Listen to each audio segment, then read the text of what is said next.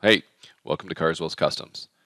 Uh, today we're going to talk about installing a GM 3-bar map sensor in, uh, in a 5.7 uh, Dodge Charger. I went to the uh, GM 3-bar map sensor. Um, when I put my uh, supercharger on, I put a GT500 supercharger on my, uh, on my Charger. And I went with the GM 3-bar because of its availability. It was easy to get and it was in stock everywhere pigtails were available. And then on DIY Auto Tune, um, they've got a great uh, uh, schematics, and then even go over the uh, um, the pressure and the volts. Um, put all that information right out here. So it was it was a pretty pretty easy decision uh, since all the information is here. When uh, when changing things, you need as much info as possible. So anyhow, we'll get to it here. So let's bring up HP tuners. So you'll go to Airflow General, and then under Map, I went ahead and selected Sensed Map is enabled. It is defaulted disabled on the original um, on my 5.7 Hemi. And then we went ahead and went down to Characteristics to Map Sensor Linear. Now what this is, is it gives you the uh, manifold absolute pressure reading on the sensor or in the sensor for every one volt. So stock is 21 kPa per one volt, and then the three bar is 64 kPa per one volt uh, of the sensor. I also went to pressure ratio and uh, increased the PR ratio max to 2.5 and the PR ratio max turbo 2.5. Any of the settings that showed pressure ratios that uh, that I could increase to uh, to mimic the uh, sensor's uh, capability, I went ahead and tried to keep everything uh, the same throughout the different chapters of HP Tuners.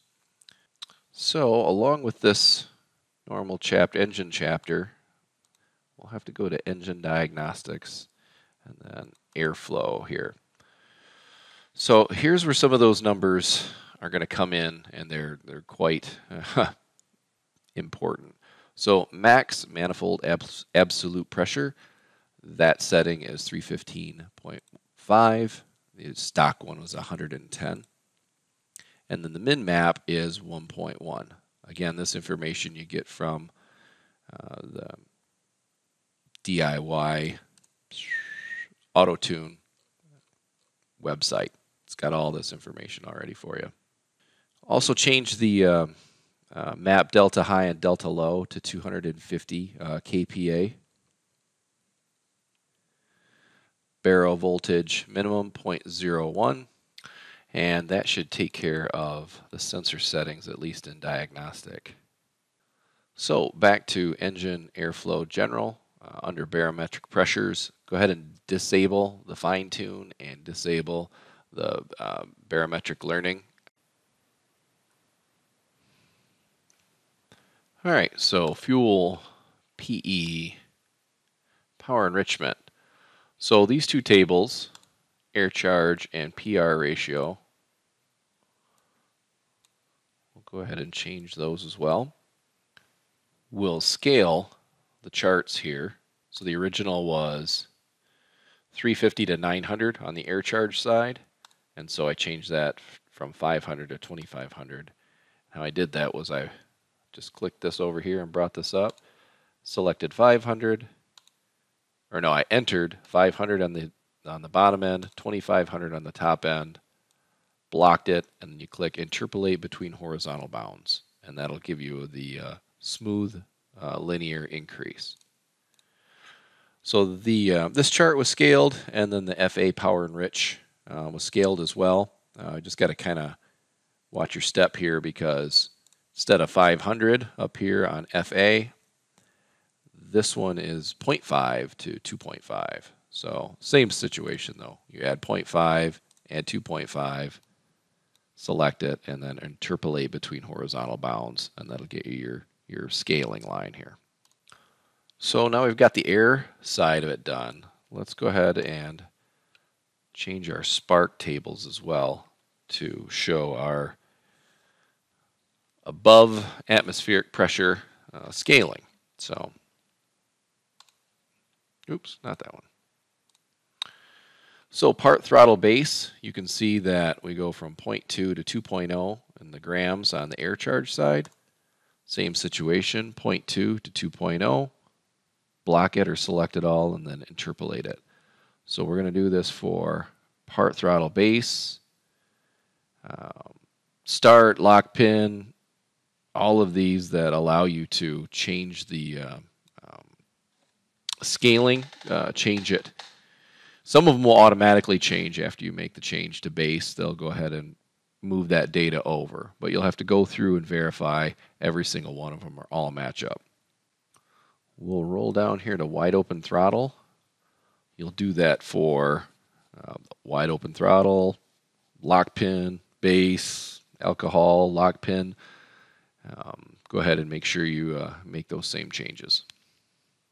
So wiring up the sensor into the stock uh, Dodge harness, uh, this pigtail I got uh, was not from uh, DIY Auto Tune. It was a piece of junk, but uh, I got it to work, and um, so you'll see the yellow with red stripe runs over the top here and goes to the fire plug.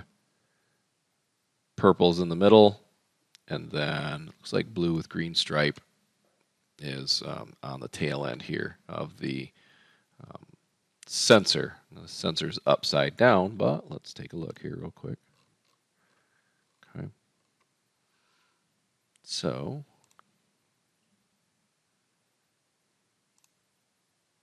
right, so you rotate this sensor 180 degrees. It'll say, it'll show you the A, B, C, and where it goes, um, where each of these wires go. So also a quick Google search will probably get you um, some information. But this was um, figured this would be helpful.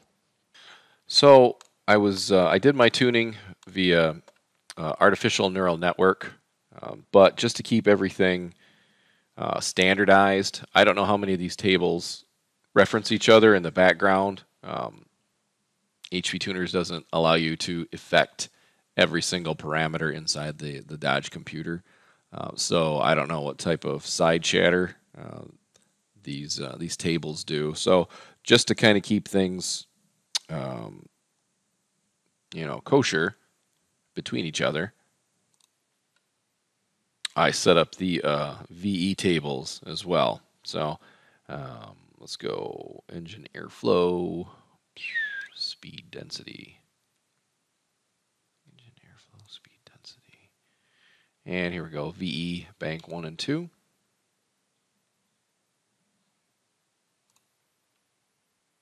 So the same operation, go to ratio, enter 0.15 to 2.15, and then interpolate between vertical bounds, or sorry, horizontal bounds.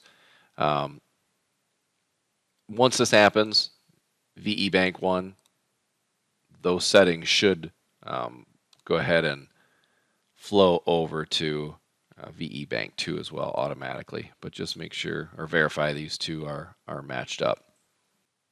Okay, so that should get you close to figuring out or entering the uh, um, information that's correct for the three bar map sensor into HP tuners. Um, I haven't had any problems at all with it. Um, after I um, did the changes, I didn't have to modify anything. Here's a uh, data log that I showed in a previous video on how to uh, install Hellcat injectors. And you'll see here that the uh, map sensors in white, and these are very normal readings for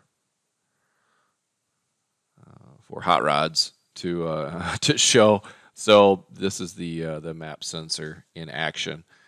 Um, haven't had any issues. I guess I don't know why there would be. It's a zero to five volt sensor that uh, reports manifold pressure uh, back to the computer. So um, I don't think it's uh, brand specific or anything like that. So go ahead and throw one in, um, throw some boost at it, and um, and go from there. Thanks a lot for watching. Uh, see you next time.